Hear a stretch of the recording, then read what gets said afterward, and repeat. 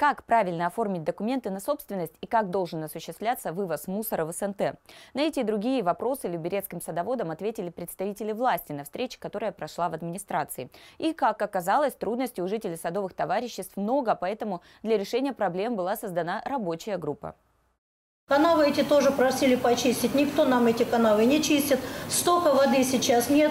Опять свыше 200 участков стоит в воде. Стоит вода. Жизнь СНТ – зеленая зона. После каждого дождя похоже на стихийное бедствие. Садоводы в отчаянии просят о помощи. А еще там же у жителей возникли проблемы с оформлением имущества и с пропиской в нем. И по словам специалистов, этот отказ в регистрации ФМС вполне законен. 66-й федеральный закон, он четко говорит, что можно строить только жилые строения без постоянной регистрации. Не жилые.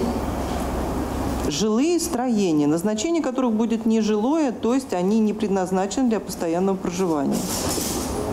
Вы же понимаете, что ваши участки – это садоводство.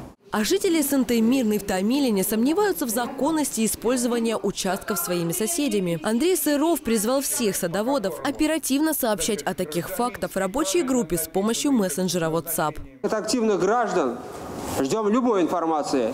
Вы идете домой, видите, что по факту там нарушение идет законодательства, информируйте нас. И у вас появляется прямая связь с нами. Почему мы хотим создать рабочую группу WhatsApp? Потому что все ну, председатели будут видеть, например, может быть, аналогичный вопрос, он не обращал внимания. Когда кто-то из вас этот вопрос поднимет, он обратит внимание и отработает на своем уровне. Встреча представителей СНТ с сотрудниками муниципалитета была необходима. Проблем и вопросов у садоводов накопилось много. И, как показал недавний рейд по незаконным постройкам в СНТ «Зеленая зона», мало кто из собственников исправил те нарушения, которые выявили еще год назад. Поэтому в состав рабочей группы для более эффективного решения задач вошли различные специалисты, в том числе и из БТИ.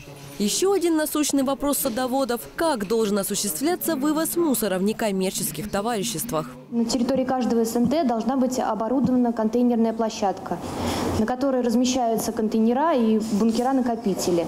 Должен быть обязательно заключен договор на вывоз мусора, и также вся эта информация о графике вывоза, об организации должна быть размещена на контейнерной площадке.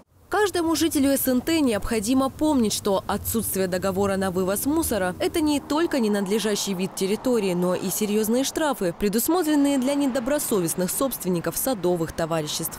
Анна Троян, Никита Скраган, телеканал ЛРТ. Всем привет! Я Наталья Григорьева. Вы смотрите ЛРТ. Подписывайтесь на наш канал на Ютубе, ставьте лайки и всегда будьте в курсе интересных событий.